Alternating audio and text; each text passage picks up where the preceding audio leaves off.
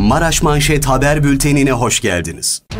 Erzurum Üniversitesi mezunları Milli Türk Talebe Birliği Camiası Derneği tarafından geleneksel olarak sürdürülen Vefa ve Kardeşlik Buluşması'nın 19.sü Kahramanmaraş'ta gerçekleştirildi. Kahramanmaraş'ta evlere girip hırsızlık yaptıkları iddiasıyla gözaltına alınan 3 kadın polis ekiplerince takip sonucu yakalandı. Cumhuriyet Halk Partisi Kahramanmaraş Kadın Kolları Başkanı Füsun Zabun, geçtiğimiz günlerde çocuğunun gözleri önünde eşi tarafından öldürülen Emine Bulut için yazılı bir açıklama yaparak kadına şiddeti kınadı. Andırın ilçesinde yangına müdahale etmek için yola çıkan arazözün devrilmesi sonucu 3 kişi yaralandı.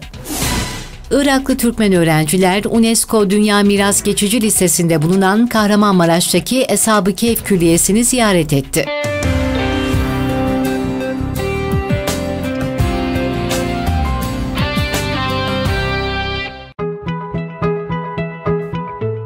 Yapılan son değerlendirmelere göre bugün ilimizde hava güneşli. Günü beklenen en yüksek sıcaklığı 36, en düşük sıcaklık ise 18 derece.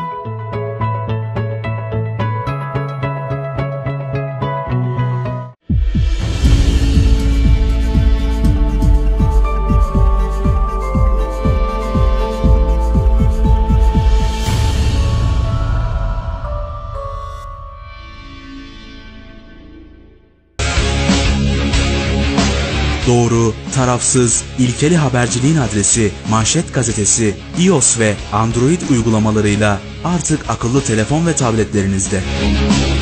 Günün manşeti, öne çıkan gelişmeler, son dakika haberler, haber videoları, köşe yazarları, ulusal gazete manşetleri ve habere dair her şey Maraş Manşet, iOS ve Android uygulamalarında.